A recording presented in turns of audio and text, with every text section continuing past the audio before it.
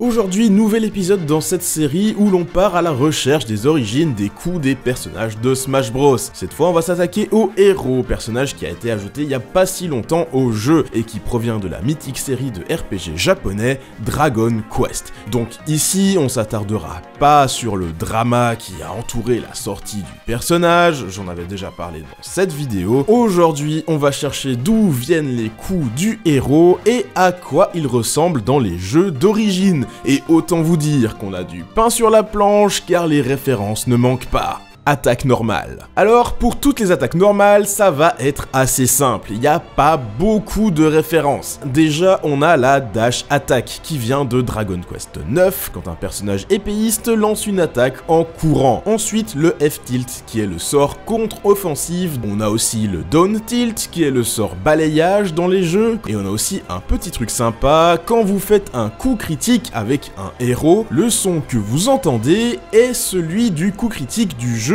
duquel provient le héros que vous jouez. Donc on a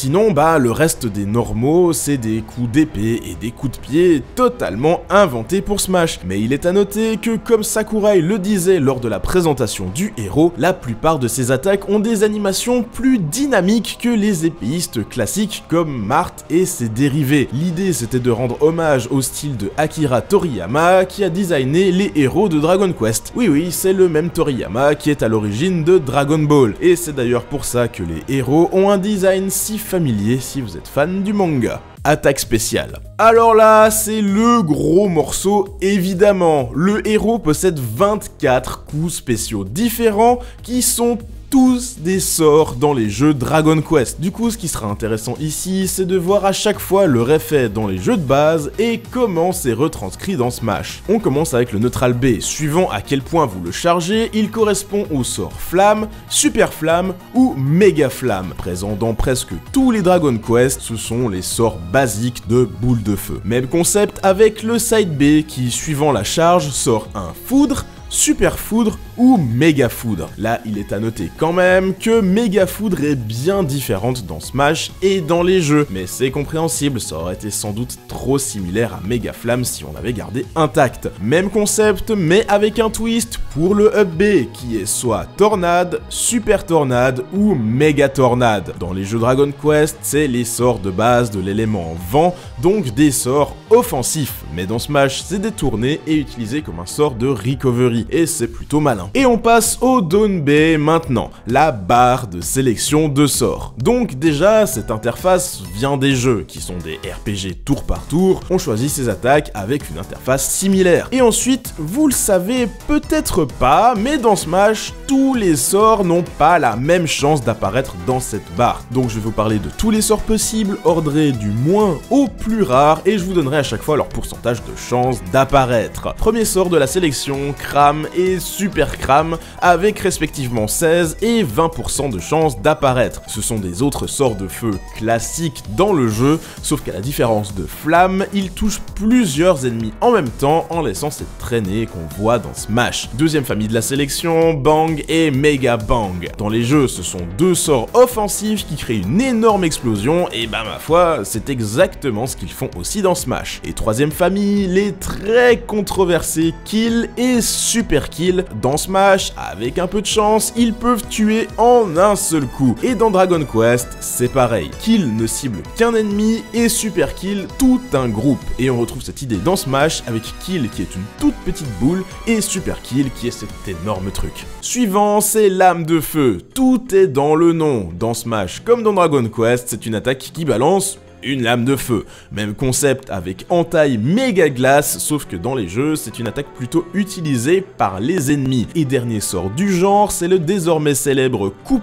claire, et là c'est assez intéressant. Dans les jeux de base, c'est un sort tout ou rien. Soit il fait un coup critique, soit il fait rien du tout. Dans Smash, il fait tout le temps un critique, et vu déjà la dose d'aléatoire dans le héros, c'est presque dommage qu'il soit pas allé au bout du concept. Honnêtement, on n'était plus à ça après. Les sorts de statut ensuite, avec torpeur qui vous endort, exactement comme dans les jeux. On a aussi réflexion, et il faut noter que dans les jeux, seuls les projectiles magiques sont renvoyés par ce sort, alors que dans Smash, c'est tous les projectiles qui sont renvoyés, quelle que soit leur provenance. Après, on a des sorts de boost, tension déjà, qui dans Smash augmente les dégâts par 1,6 de votre prochain coup. Dans les jeux, c'est aussi un sort de boost qui augmente les dégâts de votre prochain coup uniquement. Très similaire, on a Décuplo qui augmente par 1,2 fois les dégâts de vos attaques normales et shop.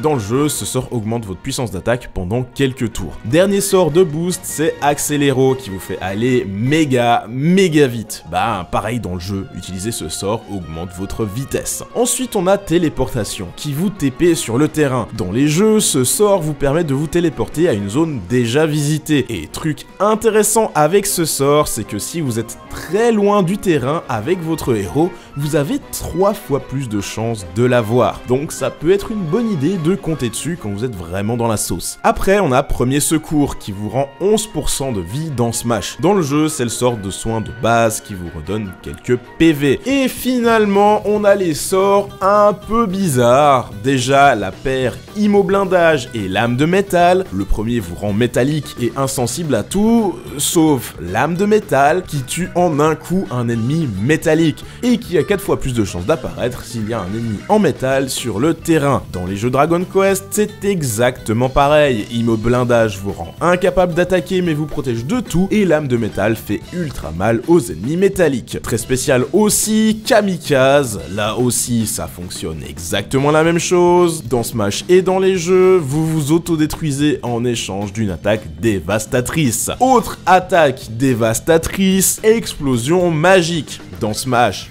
comme dans Dragon Quest, ça consomme tous vos points de mana et ça crée une énorme décharge d'énergie. Et dernier sort, et pas des moindres, plouf, plouf, la quintessence de l'aléatoire. Ici, tout est random. Je vous mets à l'écran tout ce qui peut se passer quand vous lancez un plouf plouf dans Smash, dans Dragon Quest. Évidemment, c'est le même délire, vous savez jamais ce qui va se passer après un plouf plouf. Et pour en finir vraiment avec les coups spéciaux, on a le Final Smash, le sort Gigantaille qui regroupe tous les héros de Dragon Quest qui ne sont pas en costume dans Smash. Alors ce sort existe dans les jeux, mais évidemment il ne regroupe pas tous les héros. Mais je dois reconnaître que c'était une chouette idée de le faire ainsi dans Smash, ça a quand même de la gueule. Et voilà pour les coups spéciaux. Mais la vidéo n'est pas finie, il nous reste encore des choses à voir sur le héros. Autre animation. Alors, pour son apparition sur le terrain en début de match, on le voit utiliser le sort téléportation. Pour les taunts, on en a une où il utilise le sort tension, une autre où il semble vouloir éviter un gluant, ce monstre mascotte de Dragon Quest. Logique, car c'est un monstre de base, passer un certain level, c'est plus intéressant de les affronter. Au niveau des écrans de victoire, on en a un où il utilise méga foudre et un autre où on voit trois gluants avec le héros qui apparaît derrière. Et intéressant, on notera que sur cet écran, la façon dont on voit les gluants est exactement comme quand on affronte des ennemis dans les premiers Dragon Quest où on ne voyait pas notre team pendant les combats. Et pour la musique qui se joue, c'est quelques notes du célèbre thème principal de Dragon Quest. Costume. Dernière partie de la vidéo, on va voir les références des costumes du héros. Alors le costume de base, c'est le héros de Dragon Quest 11, aussi appelé l'éclairé. Le deuxième, c'est Erdrick, héros légendaire de Dragon Quest 3, tellement légendaire que son équipement porte son nom d'ailleurs, avec l'épée d'Erdrick et le bouclier d'Erdrick. Troisième costume, c'est Solo, le héros de Dragon Quest 4. Quatrième costume, vous le connaissez sûrement un peu plus, c'est 8 de Dragon Quest 8, plus célèbre en Occident, et on remarquera qu'ils ont poussé le sens du détail jusqu'à y intégrer son petit animal de compagnie, Munchie. Cinquième costume, il porte les couleurs de Angelo dans Dragon Quest 8. Sixième, c'est les couleurs de Abel, le héros de Dragon Quest 5. Septième, c'est basé sur le héros du tout premier Dragon Quest. Et dernier costume, c'est une référence à Terry de Dragon Quest 6. Et histoire d'être vraiment complet, je vous parle vite fait du mode classique du héros, dans lequel chacun des matchs se joue sur une musique de Dragon Quest et ils se passent tous en mode point de vie pour référencer le fait que Dragon Quest, bah c'est un jeu de rôle. Et même les matchs en eux-mêmes sont bourrés de références. Dans le premier, vous affrontez 4 Kirby, 3 bleus qui représentent des gluants et un rouge qui représente une gluante. Deuxième, on affronte le héros de Dragon Quest 11 et Darren en rouge qui représente